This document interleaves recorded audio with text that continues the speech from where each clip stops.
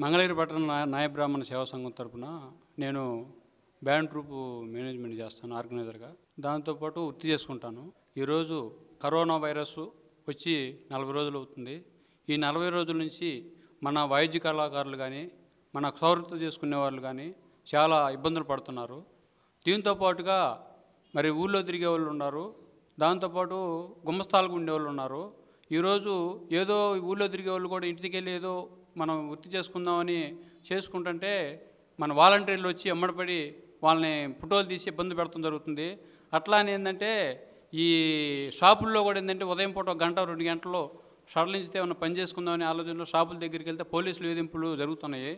మరి అట్లా కాకుండా ఈరోజు దాదాపుగా చిల్లర కొట్టోళ్ళకి కానీ కూరగాయల మార్కెట్ వాళ్ళకి కానీ పాల వాళ్ళకి కానీ అందరూ కూడా దాదాపుగా ఉదయం ఆరు గంటల నుంచి తొమ్మిది గంటల దాకా అవకాశం ఇచ్చారు. అట్లాగని మా మాకు సౌరత్వదారులు కూడా మినిమం ఒక మూడు గంటలు అవకాశం ఇవ్వాలని లాక్డౌన్ అయ్యేదాకా కోరుతున్నాము.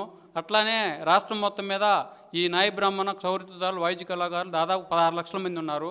వృత్తి చేసేవాళ్ళు ఏంటంటే దాదాపుగా డెబ్బై డెబ్బై వేలు సెల్లులు ఉన్నాయి రెండు లక్షల మంది వృత్తి మీద ఆధారపడి ఉన్నారు. మరి ఈరోజు ప్రభుత్వం చెప్పేది ఏంటంటే మరి ముస్లిమ్స్కి కానీ పాస్టర్లకు కానీ మరి పూజారులకు కానీ ఐదు వేల రూపాయలు గుళ్ళలో పనిచేసే వాళ్ళకే ఇస్తుంది. దాని దాపు ఏంటంటే దాదాపుగా మన ఆంధ్రప్రదేశ్ మొత్తం మీద ఐదు వందల అరవై దేవాలయాలు ఉన్నాయి ఈ దేవాలయాలు ఏంటంటే మరి దా కేసు కంట్రోల్ చేసే వృత్తిదారులకి మరి వెయ్యి రూపాయలు పదివేల రూపాయలు అప్పుగా ఇవ్వడం జరుగుతుంది. మరి మా దాదాపుగా ఏంటంటే అన్ని దేవాలయాల్లో ఆదాయం ఏదన్నా వస్తే జుట్టు మీద వస్తుంది ఎక్కువ ఎంట్రుకల మీద వస్తుంది.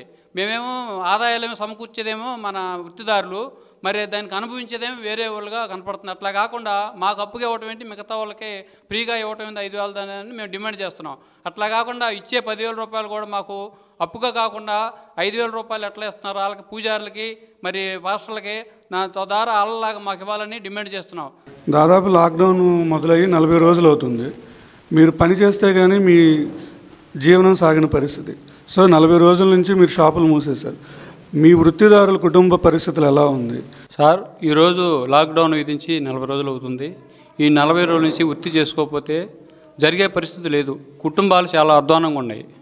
ఈరోజు మేము వృత్తి ఇవా ఈరోజు చేస్తున్నామంటే దాదాపుగా వాళ్ళ అప్పులు తీసుకునే జీవనం కొనసాగిస్తున్నారు.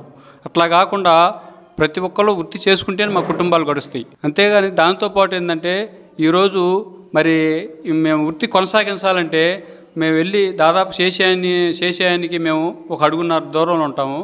ఇవాళ డాక్టర్లకు ఏమైతే ఇస్తున్నారో పీపీఎల్ కిట్స్ అట్లానే స్టాఫ్ నర్సులకు ఏమైతే ఇస్తున్నారో వాళ్ళతో పాటు మా వృత్తిదారులు కూడా ఈ పీపీఐ కిట్స్ ఇచ్చి మా వృత్తి చేసుకుంటాకి కొనసాగించడానికి అవకాశం ఇవ్వాల్సిందిగా మేము ప్రభుత్వాన్ని డిమాండ్ చేస్తున్నాం. మంగళగిరిలో దాదాపు ఎన్ని సెలూన్ షాప్స్ ఉన్నాయండి? వంద వంద సెలూన్ షాపులు ఉండేయండి దాదాపుగా ఈ వంద సెలూన్ షాపులో దాదాపుగా ఐదు వందల మంది వృత్తిదారులు కానీ గుమ్మస్తాలు కానీ ఓనర్లు కానీ ఊళ్ళో తిరిగే వాళ్ళు కానీ మొత్తం ఐదు వందల మంది వాళ్ళ పట్టణంలో ఈ వృత్తి మీద ఆధారపడి జీవిస్తున్నారండి. సో ఈ షాపులు మొత్తానికి కూడా ఇప్పుడు నెల అయిపోయింది. షాపు రెంట్ కట్టాల్సిన సమయం వచ్చింది. ఇటు చూస్తే మీకేమో పని లేదు. ఈ యజమానులు ఏమన్నా ఆగుతున్నారా? మీ మీద ఏమైనా ఒత్తిడి తెస్తున్నారు? ఇవాళ షాపులు అద్దెలకు వచ్చేసరికి యజమానులు కూడా ఏంటంటే వాళ్ళ వృత్తిదారులు ఇబ్బందుల్లో ఉన్నారు. మరి ఈ నెలకి షాపు అద్దె ఆపుదామనే ఆలోచన ఎవరికి కనపడలేదు ఫర్ ఎగ్జాంపుల్ ఏంటంటే ఇవాళ దాదాపు నలుగురు నా దృష్టికి తీసుకొచ్చారండి. ఇవాళ ఏంటంటే పనులు బాగున్నప్పుడు మీరు మాకు ఏమైనా ఎక్కువ ఇస్తున్నారా ఈ వాళ్ళు ఏంటంటే మీ పనులతో మాకు సంబంధం లేదు. మా అద్దెలు మాకు కట్టాల్సిందే అనే పరిస్థితి వచ్చిందండి. మీరు ఎలాంటి జాగ్రత్తలు తీసుకొని లాక్డౌన్ తర్వాత పని కొనసాగిస్తారు? తర ప్రభుత్వం నుంచి మీరు ఎలాంటి సహాయం కోరుతున్నారు? ఇవాళ లాక్డౌన్ అయినా కూడా ఇవాళ ఏంటంటే మేము నేను ఇందాక ఒక విషయం చెప్పాను.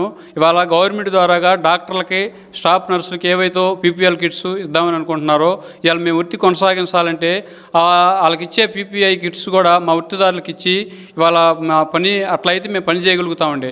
లేకపోతే మాకు ఆరోగ్య సమస్యలు వస్తాయి.